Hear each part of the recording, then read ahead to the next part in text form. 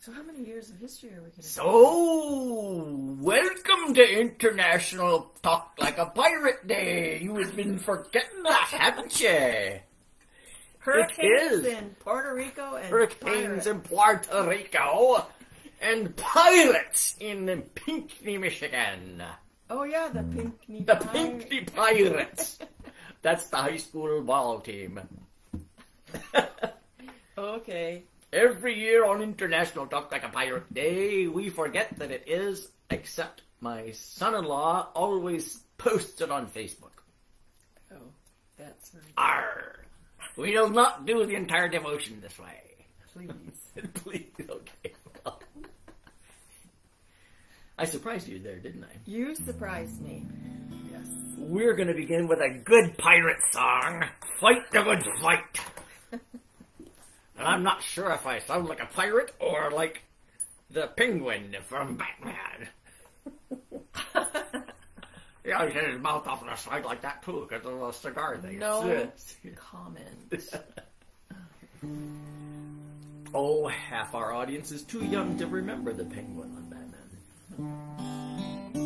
Fight the Good Fight is number 664. Let's see.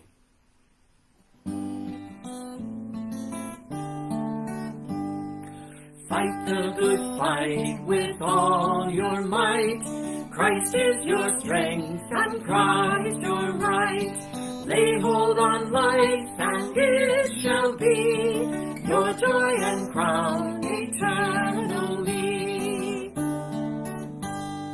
Run the straight race through God's good grace. Lift up your eyes and seek His face. Life with its way before us lies. Christ is the path and Christ the prize. Cast care aside, lean on your guide. His boundless mercy will provide. Trust and enduring faith shall prove Christ is your life and Christ your love. Faint not nor fear, his arms are near. He changes not who holds you dear. Only believe and you will see that Christ is all eternally.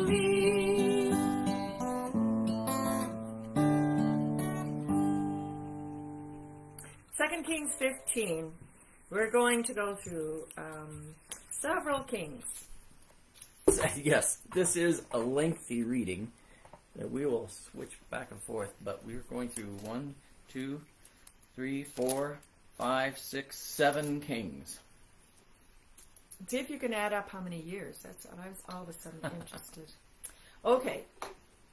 In the 27th year of Jeroboam, king of Israel, Azariah, the son of Amaziah, king of Judah, began to reign.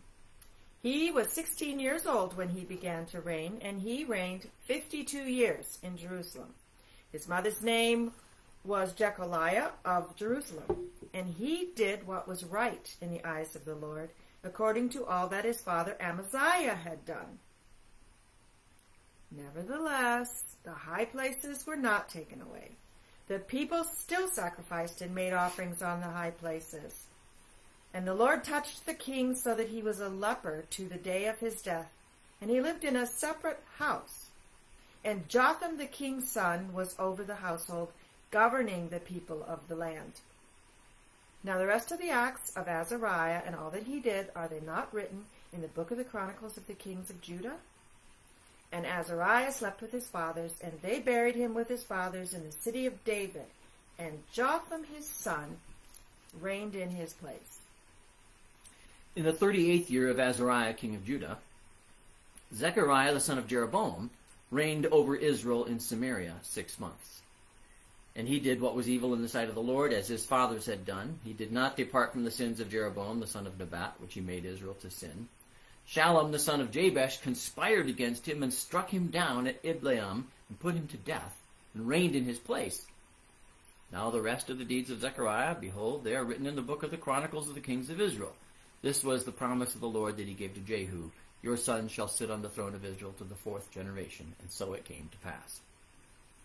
Shallum, the son of Jabesh, began to reign in the 39th year of Uzziah, king of Judah. And he reigned one month One in month. Samaria. the there's a bit of a switch up here. So he began to reign in the 39th year of Uzziah. Where did Uzziah come from? That's the beginning of the chapter. That's the same as Azariah. Uh, we've had some name switch ups, Joash and Jehoash and Joram and Jehoram. Uh, Uzziah is another name for Azariah. So we're still in the 52 years, and this guy reigned one month. Yeah. Then Menahem, the son of Menahem, Son. the son of Gadi, came up from Tirzah and came to Samaria, and he struck down Shallum, the son of Jabesh, in Samaria, and put him to death and reigned in his place. Now the rest of the deeds of Shallum and the conspiracy that he made, behold, they are written in the book of the Chronicles of the Kings of Israel. At that time Menachem sacked Tiphsah and all who were in it and its territory from Tirzah on, because they did not open it to him. Therefore he sacked it, and he ripped open all the women in it who were pregnant. So the first guy reigns six months. The next guy reigns one month. In the 39th year of Azariah, king of Judah. Now, now they say Azariah. I don't understand why he goes back and forth between Uzziah and Azariah. Keep us on our toes. In the 39th year of Azariah, king of Judah, Menachem the son of Gadi began to reign over Israel, and he reigned ten years in Samaria. And he did what was evil in the sight of the Lord. He did not depart all his days from the sins of Jeroboam the son of Nebat, which he made Israel to sin. Pul, the king of Assyria, came against the land, and Menachem gave Pul a thousand talents of silver, that he might help him to confirm his hold on the royal power. Menachem exacted the money from Israel, that is, from all the wealthy men, fifty shekels of silver from every man, to give to the king of Assyria. So the king of Assyria turned back and did not stay there in the land. Now the rest of the deeds of Na- Menachem and all that he did, are they not written in the book of the Chronicles of the Kings of Israel?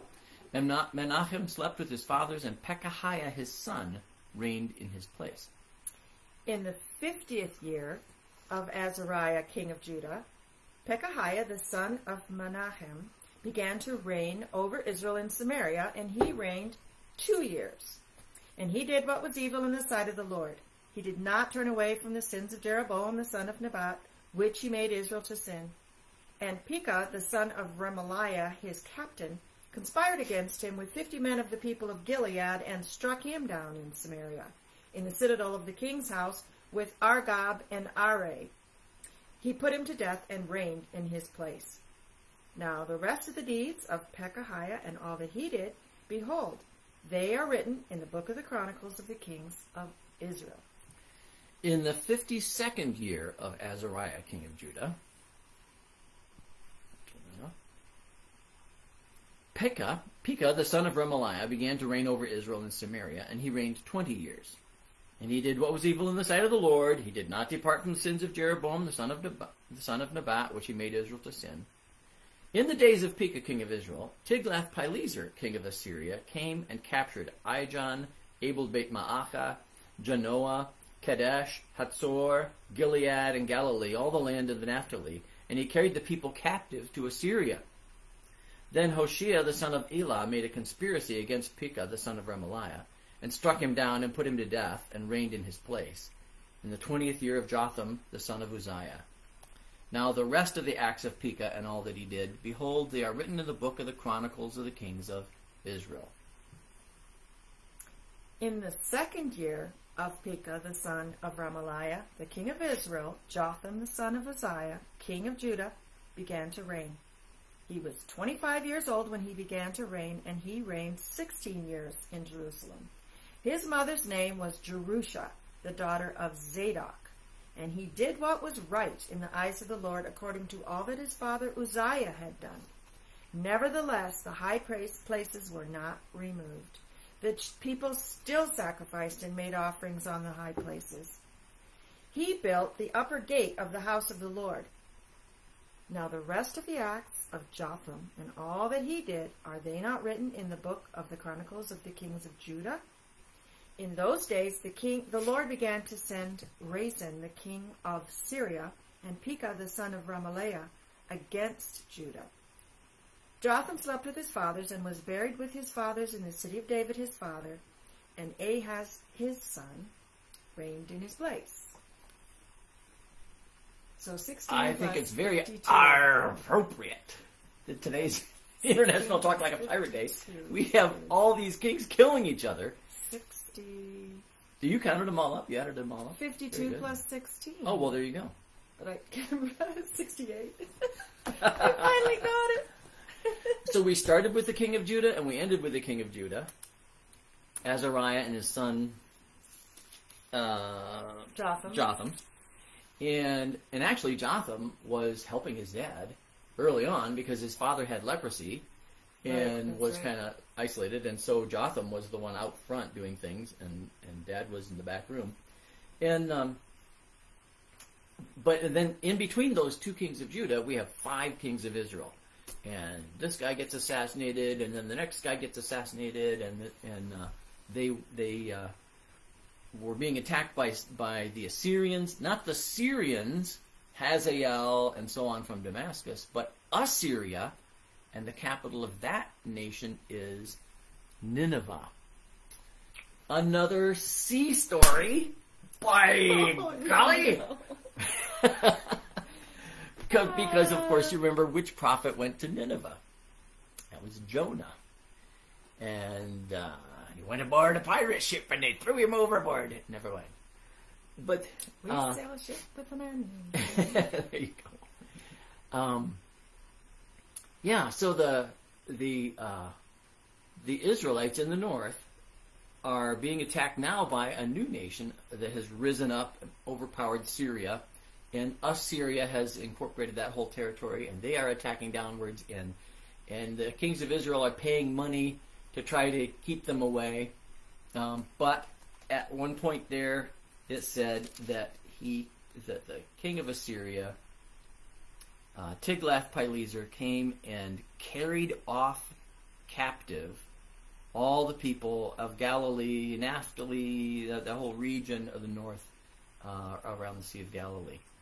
Um, and that will set the scene for many other changes that we'll see as we move towards the New Testament.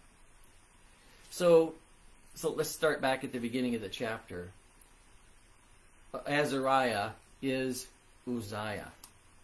If we jump over to the prophet Isaiah, he begins his prophecy, the vision of Isaiah, the son of Amoz, which he saw concerning Judah and Jerusalem. So Isaiah was teaching or preaching to the southern kingdom, Judah and Jerusalem. In the days of Uzziah, Jotham, Ahaz, and Hezekiah, kings of Judah.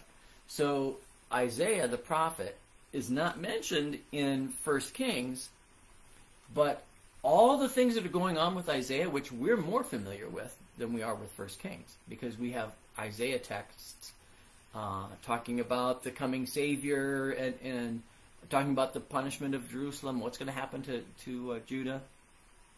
Um, he's doing all those things beginning now, beginning in chapter 15 with the reign of King Azar- uh, Azariah or Uzziah.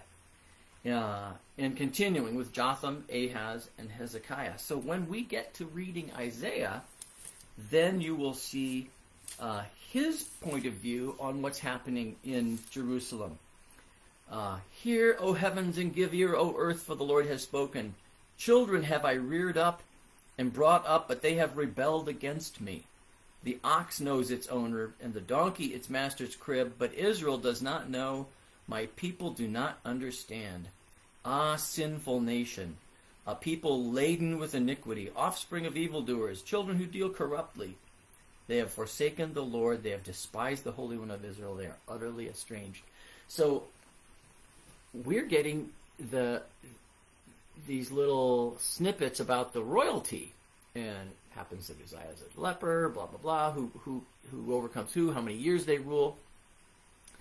Isaiah tells us uh, when it says that uh, he did good things, but the high places weren't removed, and the people were still offering sacrifices there. Isaiah is telling us this is what's going on among the people. They are worshiping this, that, and the other thing. Uh, they are unfaithful to God, and they're acting unjustly. and he is very upset about it. And so uh, we come to this famous passage, Isaiah chapter 6. In the year that King Uzziah died, when is that? That's 52 years after he began to reign. Isaiah, wow. It doesn't say that he began at the beginning of Uzziah's reign. It's the beginning of Jotham, Jotham's, actually. Well, that's when chapter 6 takes place. So sometime during King Uzziah's reign, uh, Oh, Isaiah okay, started. started. Um, but he's going to be a pastor prophet for quite a while.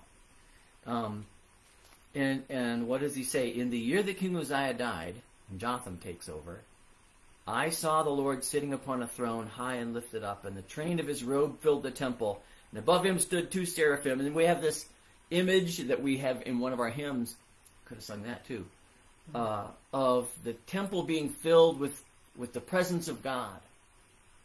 And there's this promise, uh, you know, that God uh, is there with them, and He's going to send Isaiah. But He says, what is He supposed to say to the people? Go and say to them, keep on hearing, but do not understand. Keep on seeing, but do not perceive.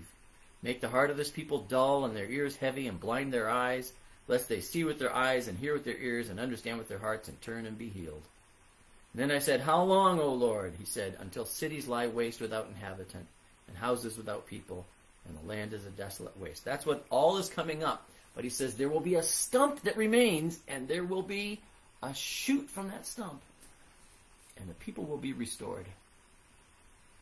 We we in in Second Kings are being prepared as we see the you know the faults and failings of the royalty uh, and how kingdoms rise and fall, quite literally.